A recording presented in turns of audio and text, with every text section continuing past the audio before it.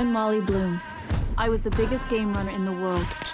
Movie stars, directors, they were going all in all the time. That's gonna make noise. Just how deep into the Russian mob were you? We built a multi-million dollar business.